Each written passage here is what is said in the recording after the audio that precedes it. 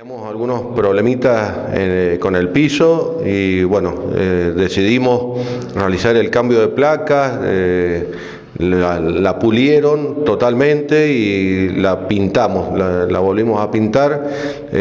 previendo que dentro de muy poco tenemos torneos nacionales en los cuales necesitamos el mejor piso, las mejores instalaciones posibles para que los deportistas puedan rendir eh, a la altura y nosotros también estemos a la altura con las instalaciones que tenemos. Así que estamos muy contentos con el, con el cambio que le hemos dado a la, cara del, poli, del piso, eh, la iluminación también, se, arreglaron algunos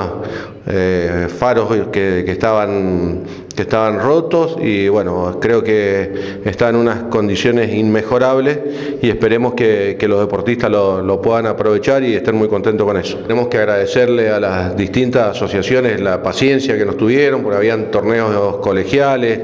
eh, bueno, distintos deportes, como vos decís, básquet, patín, handball, futsal, que, estaban utilizándolo y bueno, eh, tuvieron, nos tuvieron paciencia, eh, les explicamos por qué era la situación y bueno, lo aceptaron y, estamos en condiciones de decir que tenemos un poli totalmente renovado. Eh, en realidad lo queremos